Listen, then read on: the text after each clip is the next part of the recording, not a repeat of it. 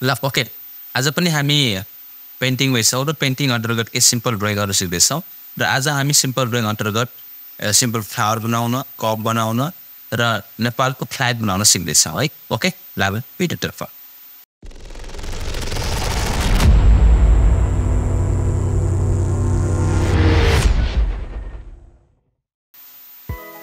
ल पहिला हामी पेन्टिङ खोलिहाल्छौँ फटाफट पेन्टिङ खोलिसकेपछि सुरुमा म आज सिकाउनु भएको छु एउटा कप बनाउन कप कसरी बनाउन सकिन्छ त्यस्तै होइन? कपको लागि चाहिँ म यहाँबाट एउटा यो सर्कल लिँदैछु गोलो गोलो यतिको मैले बनाएँ। र यो बनाइसकेपछि त्यसपछि म यो गोलोलाई सेलेक्ट गर्दैछु। अनि कपी पेस्ट। यो ट्रान्सप्यारेन्ट छैन। ट्रान्सप्यारेन्ट गर्नको लागि हामी यो सेलेक्टमा क्लिक गरेर ट्रान्सप्यारेन्टमा ट्रान्सप्यारेन्ट सेलेक्सनमा क्लिक गर्दैछौँ। र ट्रान्सप्यारेन्ट भइहाल्छ र हामी यस्तो यस्तै उठाएर राख्न सक्छौँ।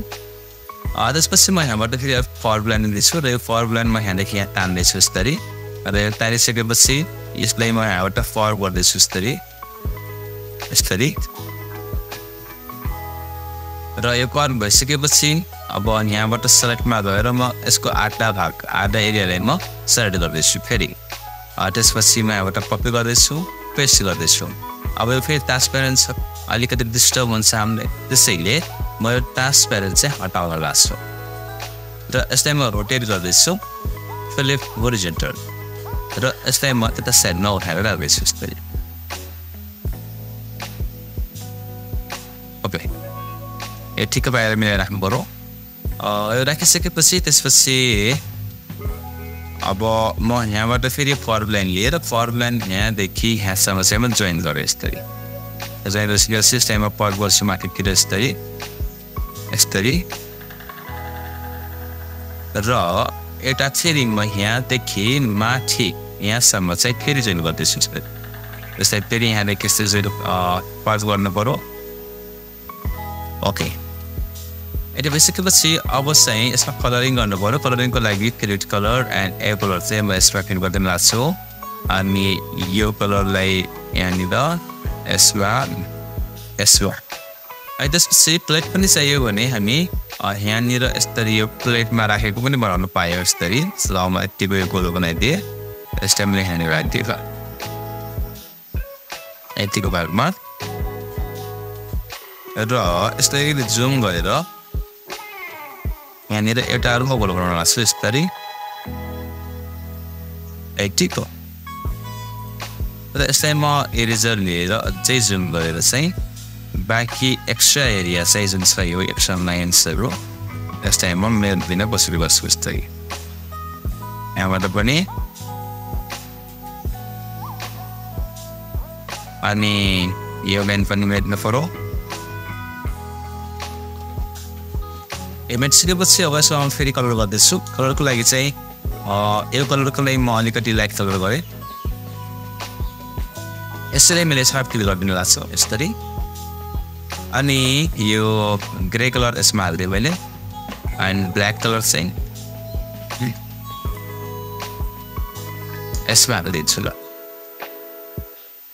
ओके यसरी हामी यो बनाउन सक्यौँ। प्लस यसमा अझै अलिकति स्टाइलिस बनाउने भए म यो स्टार लिएर यसरी डार गएर यो स्टारलाई चाहिँ यसरी ड्र गरिदिन पनि सकेँ हामी जस्तै यसको साइज चाहिँ अलिकति मसिनो गरिदिएँ मैले। अनि यसरी ड्र गर्नु भयो यस्तै okay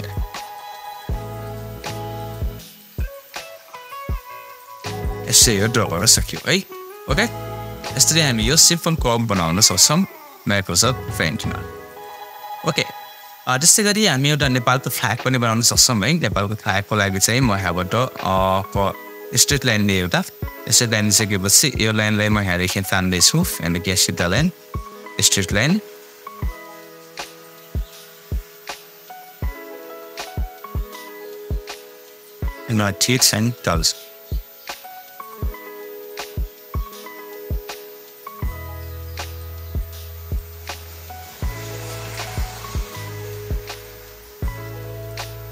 Alice, how you see that? त यहाँदेखि आफूलाई पनि जोड्नु पऱ्यो जोडिसकेपछि यसलाई यसरी मगाउनु है ओके यति गरिसकेपछि अब यसमा चन्द्र सूर्य पनि बनाउनु पऱ्यो हामीले भनेपछि म एउटा गोलो बनाउँदैछु यसरी यो गोलो अनि यो गोलोलाई म सेलेक्ट गर्दैछु त्यसपछि कपी गर्दैछु पेस्ट गर्दैछु र मलाई ट्रान्सप्यारेन्टमा चाहियो भने बस टाइममा ट्रान्सप्यारेन्ट गरिदिन्छु र यस्तो एरियामा यस्तै यहाँनिर राखिदिन्छु यस्तै प्लस फेरि सेलेक्टमै रहेर यसको माथिल्लो भाग चाहिँ म डिलिट गरिदिन्छु यस्तै र यहाँनिर हामीसँग यो सेप चाहिँ यहाँनिर यसरी म ड्र गरिदिन्छु ड्र गरिसकेपछि यसलाई चाहिँ म यहाँनिर उठाएर यहाँ राखिदिन्छु यसरी र यो सेपलाई म टलर ड्र गरिदिन्छु। यसरी त्यसपछि कलरिङको बेलामा चाहिँ म कलर ब्लु कलर यसमा हालिदिन्छु। यसरी अनि रेड र वाइट कलर यसमा। रहेछ त यसरी हामी सिम्पल नेपालको फ्ल्याग बनाउन सक्यौँ है। ओके यो भएको सिम्पल नेपाल फ्ल्याग भयो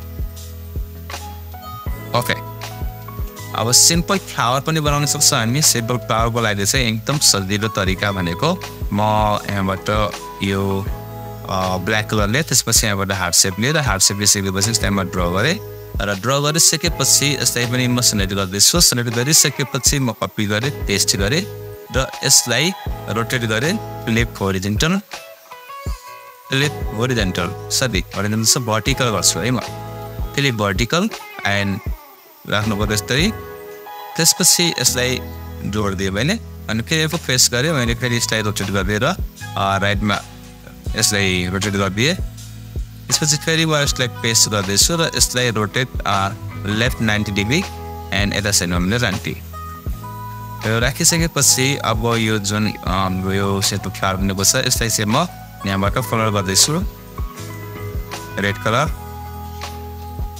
यसरी र भइसकेपछि म यहाँबाट ब्रस लिँदैछु योवाला अनि यसको ओकासिटी नेगेटिभ फर्म गरेर र यस टाइममा यहाँदेखि यहाँ सुई सुई केही लाइनहरू तान्दैछु यस्तै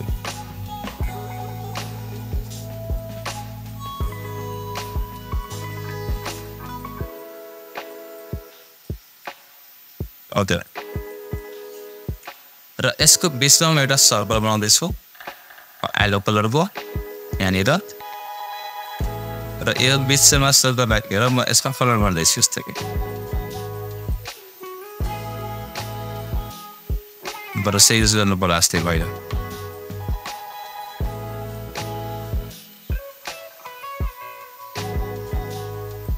ओके। ठिक गरिसकेपछि म यहाँबाट एउटा कर्ब लाइन लिँदैछु। यहाँदेखि लगभग यहाँसम्म। कर्ब लाइन लिएँ मैले र यस्तै यहाँबाट यस्तरी कर्ब गरिदिनु भएको छ यस्तरी। एन्ड यस्तरी। अलिकति भएन कि हालेको होइन? ओके त्यसपछि म यहाँबाट एउटा बक्स दिनु भएको छु यस्तरी। बक्स भयो।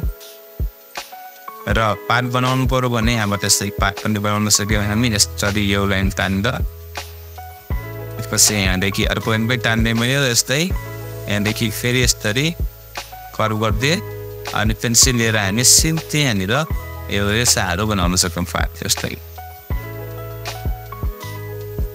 र यसमा कलर गर्ने भयो भने अब ग्रिन कलर छँदैछ हामी यसमा ग्रिन कलर फिलअप गर्न सक्छौँ। And this is box okay यो सिम्पल फ्लावर हामी यसरी बनाउन सक्छौँ र म यस्तै फेरि एकपटक फेरि सेलेक्सनमा गएर यस्तै म सेलेक्ट गर्दैछु। छोरो एक उतारो। सेलेक्ट एन्ड कपी पेस्ट र यसलाई म यहाँ राख्न चाहन्छु त्यो पनि रोटेट गरेर रोटेट भर्टिकल ओल्दो भयो। रोटेट फेरि होरिजेन्टल